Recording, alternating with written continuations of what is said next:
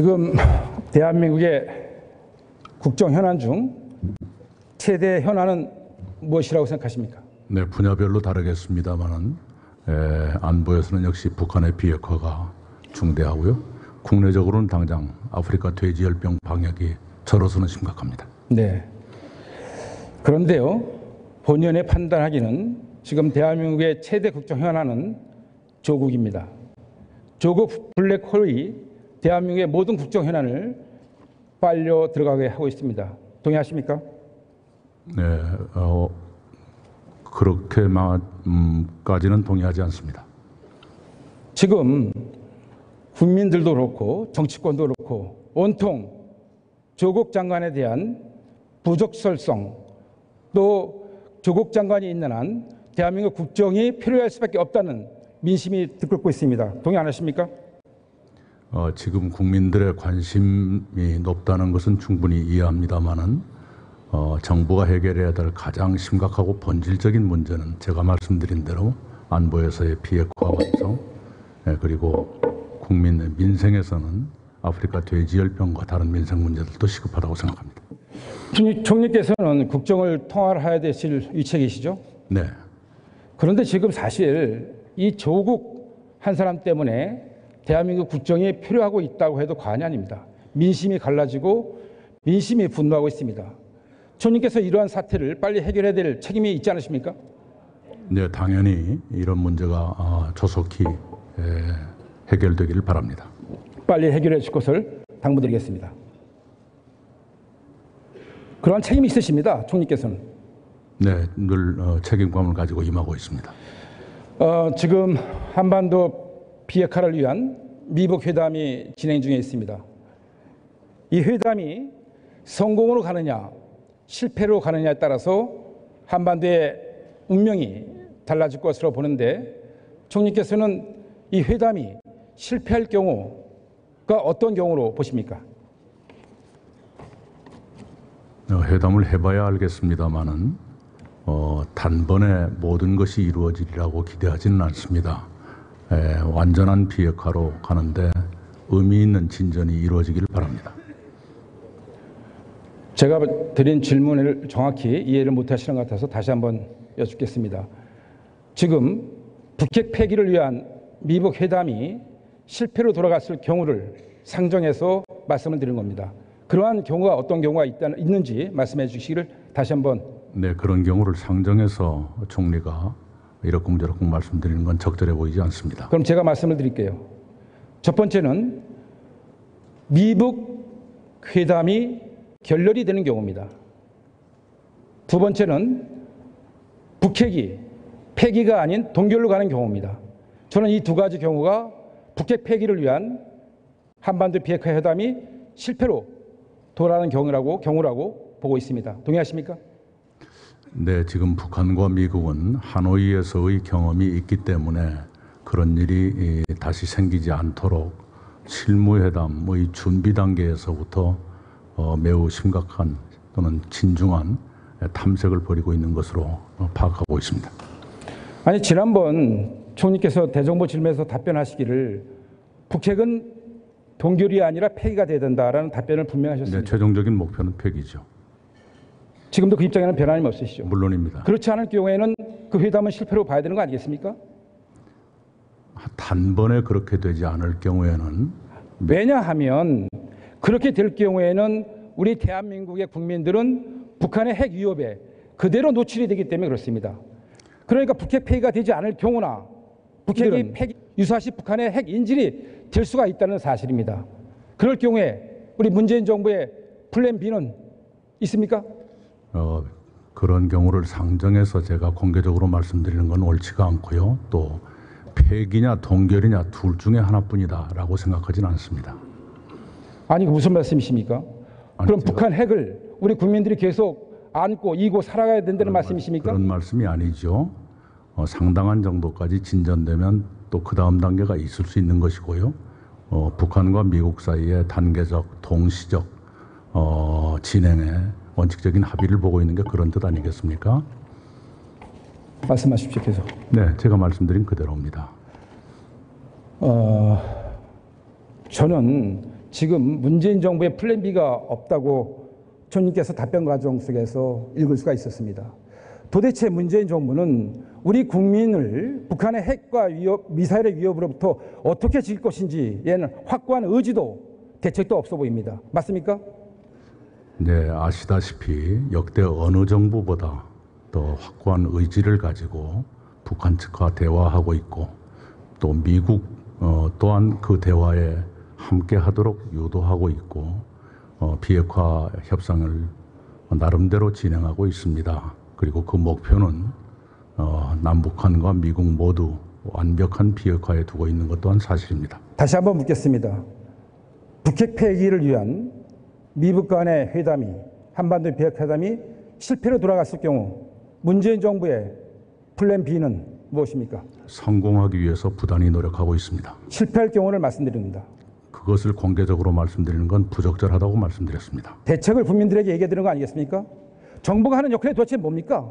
그것을 충분히 에, 생각하고 있다 하더라도 여기서 그것부터 말씀드리는 것은 현명하지 않게 생각합니다. 그러면 국민들은 계속 북핵 위협의 불안감에 떨고 살아야 된다는 말씀입니까? 지금 당장 북한과 미국이 제3차 북미 정상회담을 위한 실무 접촉을 준비하고 있는 단계입니다.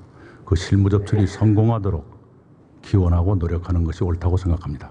제가 말씀드린 것은 물론 북핵 폐기를 위한 한반도 비핵화 회담이 반드시 성공돼야 됩니다. 네, 본의원도 바라고 온 국민도 그것을 바라고 있습니다. 네 그런 말. 그런데 그- 만약에 실패를 할 경우에 우리 정부가 대한민국의 안전을 위해서 국민들의 안위를 위해서 대책을 세워야 되지 않겠습니까? 그 대책을 자, 의원- 말씀하려는 의원- 의원- 말씀 의원- 밝히는 네, 말씀입니다. 의원님께서 이번 북미 회담이 성공하길 바라신다 그랬으니까요. 성공하도록 도와주시기 바랍니다. 저는 그러면 문재인 정부는 대한민국 북한의 비핵화 관련돼서 아무런 대책도 없이 대책도 없는 정부로 간주하겠습니다. 자, 지금 미국 트럼프 대통령이 방위미 분담과 관련, 관련돼서 그 인상을 요구하고 있죠. 전략자산 정제 비용 등 여러 가지 추가 비용을 요구를 했어요. 그렇죠, 중진?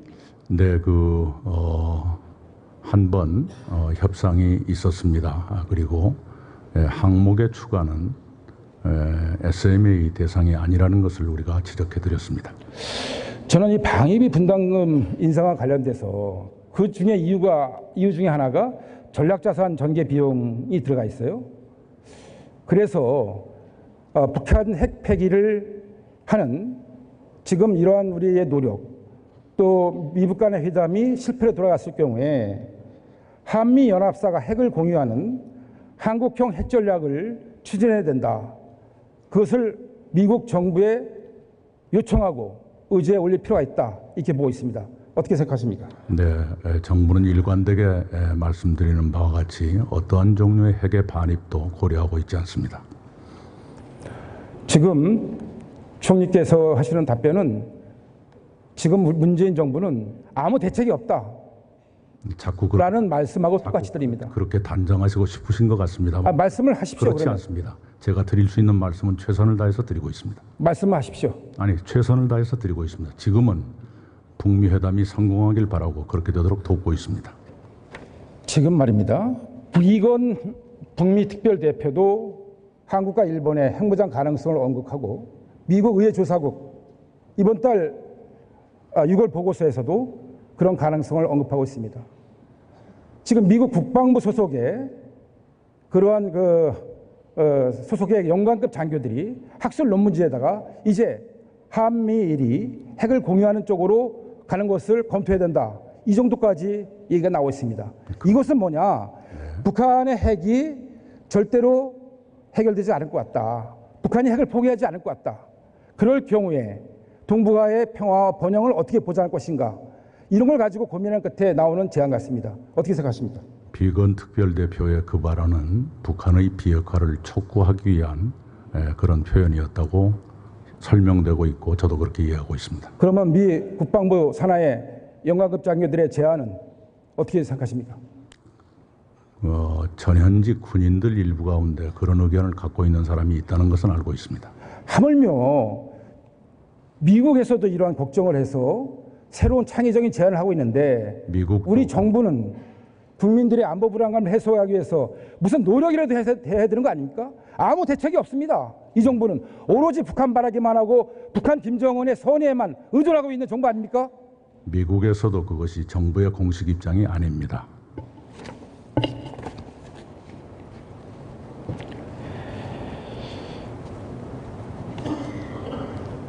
트럼프 대통령이 어제 유엔에서 행한 연설 내용 아십니까? 네, 얼추 신문 통해서 읽었습니다. 무슨 내용으로 이해하고 계십니까? 네, 아, 그 의원님께서 어, 하문하고 싶으신 걸 물어주시죠. 트럼프 대통령이 유엔 연설에서 이제 글로벌리즘은 종교에 가깝다. 내셔널리즘으로 가야 된다. 국가주의를 내세웠습니다. 여기에는 많은 함의가 담겨 있다고 저는 보는데 한미 동맹을 포함해서 주한미군 문제, 심지어는 안보까지 우리가 새로운 전략을 짜야 되는 시기가 아닌가 이렇게 본의원은 판단하고 있습니다. 총님께서 동의하십니까? 네, 에, 자국 중심주의의 대두가 어, 하나의 현상인 것은 틀림없습니다만 결코 바람직한 방향이라고 보지 않습니다. 그리고 물론 어, 대한민국은 어, 역대 어느 정부보다도 지금 더 많은 에, 방위비 증액을 통해서 국방력 증강을 위해서 노력하고 있습니다. 저는요 이번에 문재인 대통령이 뉴욕 가서 정상회담을 한- 하는 것을 보고 정말 이 정부는 한심하야 그지없다 이런 생각이 들었습니다. 아니 볼턴이 7월달에 와서 방위비 분담금 관련돼서 50억 달러 요구하고 갔지 않았습니까? 3개월 동안 아무 일도 안 하다가 이제 이제 가서 정상회담에 가서 기권한다는 얘기가 무기가 우리가 얼마나 많이 샀는지 아느냐 이런 얘기를 하고 있었답니까? 그 전에 정부가 나서서 외교부 장관, 국방부 장관 나가서 그런 일- 노력들을 미리 했어야 되는 거 아닙니까? 이번에 가서 정상회담에서는 저는 총리 대신에 대통령께서 간다 그래서 무슨 획기적인 일이 있는 줄 알았습니다. 결국 가서 한다는 얘기가 방위비 분담금 관련돼서 우리가 무기 이렇게 많이 사고 있으니까 좀 적- 적당히 해라 이렇게 온 거 아닙니까? 방위비 분담과 관련해서 그런 얘기는 꾸준히 해오고 있습니다. 저는 지금 동맹의 이익보다 국가의 이익으로 가고 있는 미국을 비롯한 국제사회 흐름을 아, 걱정 어린 눈으로 보고 있습니다. 안보도 예외가 될 수 없을 것 같습니다. 이제 우리 대한민국이 어떻게 북한의 핵 위협으로부터 억지를 갖추고 한국형 새로운 핵 전략을 어떻게 세울 것인지를 심각하게 고민할 때라 생각합니다. 들어가 주시기 바랍니다.